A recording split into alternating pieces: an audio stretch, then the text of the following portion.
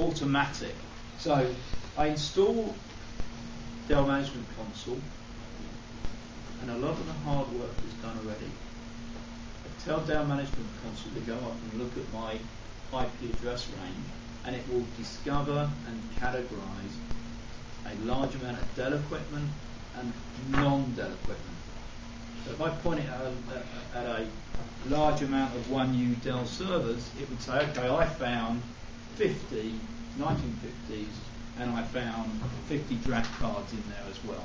And it will report rich asset information on there, so the amount of memory that I've got in there and how many DIMM sticks it's made out of, and the um, tag numbers so we can track warranty, etc.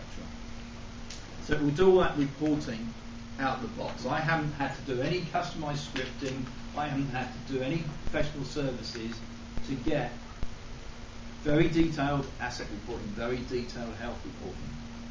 Now the other thing, and you can see here's an example of some of the asset information that we put out. You know, I can see what OS I'm running, I can see what CPUs I'm using, I can see what hard drives and controllers I'm using up there. So, um, you know, if I do want to flash a BIOS, for example, I can see, oh, here's a performance performance increase on a particular platform. How many of those 2950s need that new BIOS to take a performance up, up? How many of those are compliant and how many of those need the up, upgrade to give you that performance up?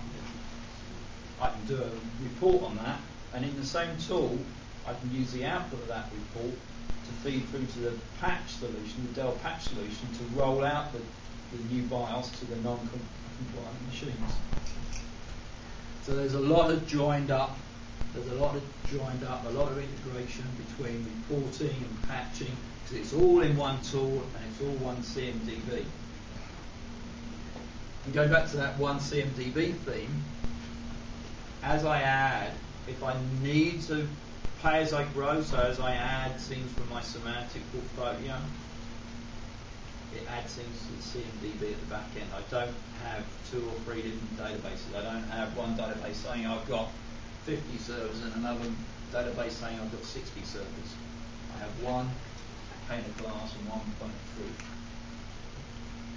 And also I have one GUI to learn. So again, if I'm rolling out Microsoft patches and Dell patches, I can use one tool to do that. And I can, obviously you heard me earlier on talk about health monitoring and asset. One tool.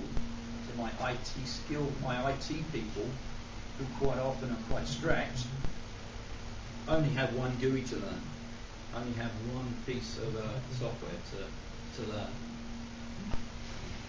So that's, in a, in a very brief nutshell, in a very brief piece, the uh, Dell Management Console piece. Is there any questions on that? Uh, I have a question about life cycle, life cycle uh, controller. Isn't is it it is isn't late to put it question yet? I beg your